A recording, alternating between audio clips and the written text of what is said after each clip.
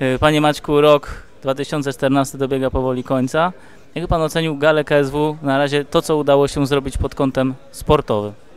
Mówisz o, o całym 2014, tak? No Do tego momentu. słuchaj, e, jestem po każdej gali zadowolony z każdej gali i niezmiennie e, ciągnie się to już 10 lat, ta moja przygoda z samozadowoleniem. E, I jest podobnie w tym momencie. No, robimy w tym momencie ostatnią galę w 2014 roku, największą w historii, ze względu na to, że taki duży obiekt się pojawił w Polsce i, i myślę, że myślę, że e, tempo sprzedaży biletów i zainteresowanie galą samo mówi za siebie. E, Jest to świetny moment na rozwój MMA.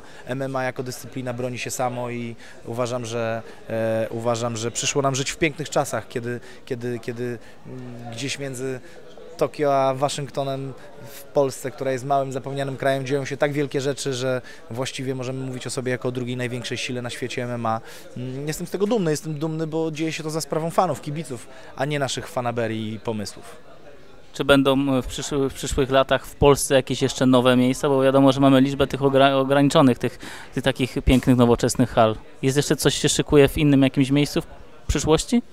Buduje się bardzo dużo hal. Nie wiem, czy jest to kwestia akurat określonych środków unijnych, projektów, które się tworzą, natomiast yy, mam takie mm, podejrzenie, że jest dużo więcej hal w tym kraju i będzie za chwilę jeszcze więcej niż kontentu, który mógłby je wypełniać. Na tyle ciekawego i cyklicznego, że rzeczywiście te hale będą w stanie e, z tego kontentu przeżyć. E, ale no... Każde miasto chce mieć swoją halę, no. Myślę, myślę, że, myślę że, że, że, że to może tylko poruszyć ten konsumpcjonizm sportowy, że ludzie zaczną chodzić na wydarzenia, tak jak, tak jak, tak jak w innych krajach i że, i że coraz chętniej będą płacić za bilety po to, że będzie to pewna forma spędzania czasu z rodziną, z dziećmi, z kolegami itd. itd. Wierzę, wierzę w rozwój yy, yy, sportów masowych, takich, które się prezentują w halach, obiektach zamkniętych, podobnie jak w rozwój pay-per-view. Uważam, że, uważam że, że, że są to dwa zadania dla nas jako promotorów, żeby przekonać ludzi, że te dwie przestrzenie są potrzebne do tego, żeby sport się rozwijał. Duże hale i, mm, e, i, i, i nie buntowanie się na zjawisko, które nazywa się pay-per-view. Rzeczywiście z gali pay-per-view na galę jest, jest, jest postęp, czy to różnie bywa? O, różnie bywa. To, to fight card decyduje o tym, dzień tygodnia, pogoda i milion innych elementów. To jest tak jak z ratingami i oglądalnościami, tylko, tylko, tylko odpowiednio, mm, mówię tutaj o mniejszym lewarze.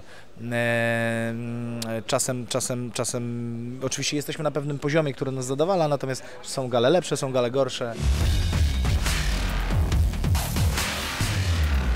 Mówi Pan, e, że też, że zawodnicy mają w przyszłym roku niektórzy jechać na przykład do USA potrenować, że mu było mowa o Kamilu Szeremecie, e, Michał Chudecki, Krzysztof Zimnoch, e, czy to raz taki będzie częściej takie w plan, żeby sparingi planowane? Tak, do poważnych walk, do poważnych imprez będziemy chcieli właśnie wysyłać dwóch, trzech zawodników w, tym, w przyszłym roku, żeby po prostu nauczyli się czegoś nowego, zobaczyli innej techniki i może, może e, zaskoczą nas e, czymś innym, bo wiadomo, że mamy duży, duży problem z trenerami w Polsce i tych trenerów e, naprawdę tak to nie ma, a jak są, to już ciężko się z nimi dogadać i, marzą, marzą o jakimś tam powiedzmy pobiciu wielkiego sukcesu Feliksa Sztama, więc trzeba szukać za wielką wodą rozwiązań trenerskich. No i tutaj będzie taka nasza próba wysłania dwóch, trzech zawodników właśnie na, na te szkolenia. Czy realna jest szansa e, na ten rewanż Diablo z Drozdem, bo Pan jest blisko, może Pan coś więcej wie na ten temat? No jest bardzo blisko, tylko że e, Krzysiek musi wrócić do treningu, Krzysiek musi, musi zacząć trenować i wtedy bardziej zaowocuje się powiedzmy tutaj e, kon, kon, konkrety, które nam umożliwią po prostu datę, tak? Bo na razie Krzysiek nie trenuje, można powiedzieć może nie odpoczywa, ale tak powiedzmy e, gdzieś e, załatwia swoje sprawy prywatne, więc e, czekamy na powrót Krzyśka do treningów i wtedy będzie łatwiej ustalić datę rewanżu. A czy są na oku, wiadomo, że polski boks amatorski no, jest w nie najlepszej kondycji, mówiąc łagodnie, czy są jacyś zawodnicy, którzy nowi, którzy mogliby z tego boksu amatorskiego zasilić waszą grupę, czy na razie nie widać żadnej perełki? Nie są zawodnicy, nie można im odbierać, ciężko pracują. To, że mają takiego prezesa i nie innego, to nie ich wina.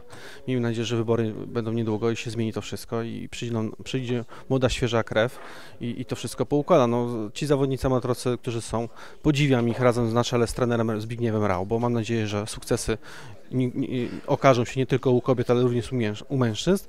I zobaczymy. Na, na razie nie myślimy o zawodnikach amatorskich, żeby ich przejąć, ze względu, żeby po prostu jeszcze, jeszcze w tym amatorstwie nabrali doświadczenia.